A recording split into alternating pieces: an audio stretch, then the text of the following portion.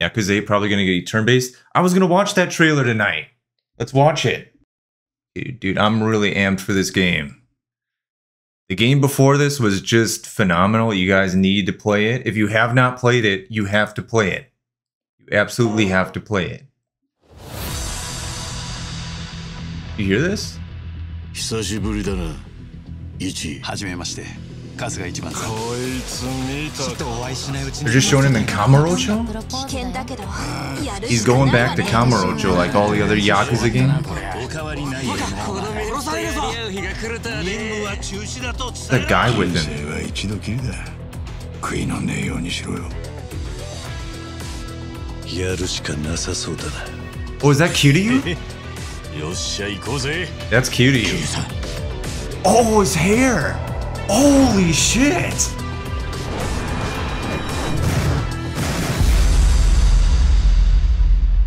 Dude, I wasn't expecting that. this game is gonna be sick. This game is gonna be so sick, dude. That was really cute of you. They gave him a redesign. He embraced the gray? No fucking way, dude. No way, that's cute of you. Dude, this redesign is sick. This redesign is so cool. He's not just like, you know, the same fucking dude again. Oh, dude. And he's working with Ichiban? Are they gonna have like separate stories within the. Get the fuck out!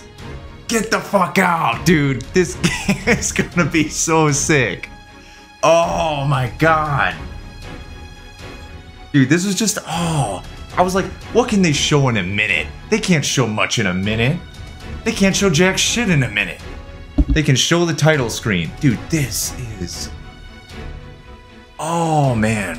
Kiryu shows up in the other one. Yeah. I was not expecting it, but he shows up and he's a part of that story too. Dude, holy shit! Oh man.